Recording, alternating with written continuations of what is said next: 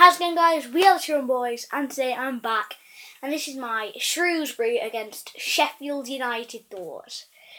So I was I was just lying in bed last night listening to the first half on the radio and it was fairly dull first half. Well, we, we were on top for both halves.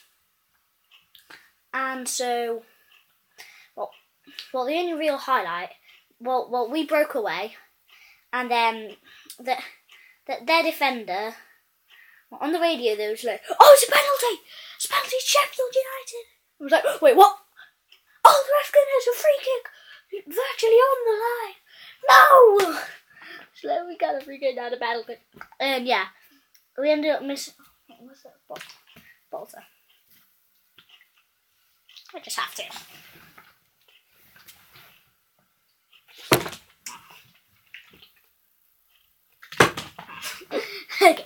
Whatever. Um, so yeah, then the second, yeah, the second half. Um, I didn't listen to that. I just went to bed. I went to sleep. Well, after I read some comics.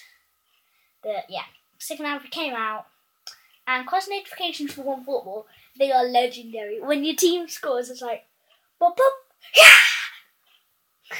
And then when the opposition scores, it's like, boom, boom, oh. Then when the final whistle goes, it's like beep, or when the or when the half star ends, and they're legendary. So yeah, um, I just turned off the radio and I heard beep, which is half time. Just reading in bed, and then I heard a beep, which mean which meant the second half had started, and then a bit later, I heard boom boom. It was like a minute or two after half time. Billy Sharp puts the ball in the back of the net, bottom corner, outside the box, great goal, and 1 up. Then, bit later, How do you know about all these goals? Daniel Lafferty scores. I'm not sure about this. I'm not sure about these goals, but yeah, Daniel Lafferty scores, and we're 2 up. Yeah, it's going really well. bit later, 3 nil. And But by that point, like, get in there, three points in the bag. And I'll just give you a quick quick analysis of the top four.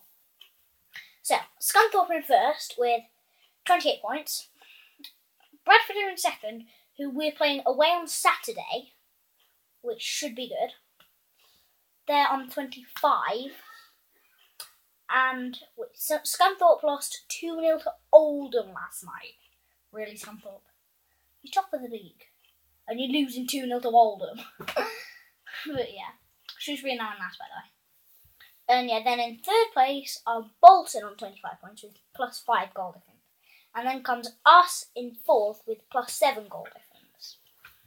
And so if if if we win against Bradford, Bolton and Scunthorpe lose on Saturday, then we're in a very good position. Because we'll be in second. Because we're a point off second at the moment. And, we'll, and then we'll be a point off first. Hmm. Yeah, that'll be it. Then if they lose, um, they all lose their game the next Saturday, which we've got at home. I think I'm not sure who it is, but that will be even better if we win and they all lose, because then we'll be top of the table. So yeah, it's looking interesting for us. Smash that like button if you enjoyed it, and you want to see the Blades get promo- promoted. Subscribe, subscribe for more great content like this.